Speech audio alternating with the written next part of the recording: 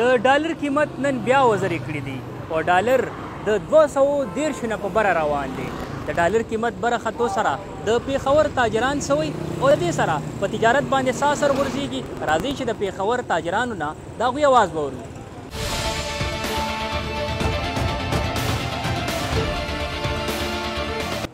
د ډالر خو زمونږ د پیر او د فقیر یو دغه جوړ شوی دی هغه زمونږ پیر دی او مونږ مریدان یو چې کله ډالر په امریکا کې اوچت شي نو زموږ پیسه په پاکستان کې خرابه شي، زموږ معیشت تباه شي. چترالی بازار زمونږ د چترالی بازار واسکټ ټوپۍ چې څومره کوټ کاروبار زمونږ خلک دلته کوي مونږ براه راست د دې متاثر یو براه راست دا دی چې زمونږ ټول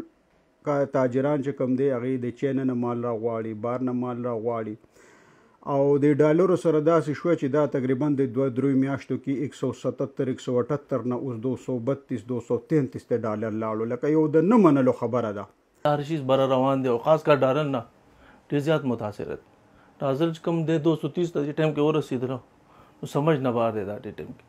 خو لازمي چې شیز ګرانې کې نو بیا کاروبار باندې لازمي واسه ټوزي دي سره نو دا ډېر تشویش ماحول دی نو پته نه لګي څه به کېږي مخکې هر سړی دې نه پریشان دی دا راځي چې نه نه کپړه نو ډالر چې خېږي د باندې تجارت باندې ډېر زیات اثر غورځېږي ټول تجران پریشان دي د ملک معیشت ډېر خراب طرف ته روان دی تاجران وايي چې د ډالر قیمت په بره ختو سره په پېښور کې تجارت خراب شوی دی او اوس د تجارت پایه هم ولاړه ده. د کیمرمین محمد خالد سره کاشف عزیز، وحدت نیوز، پېښور.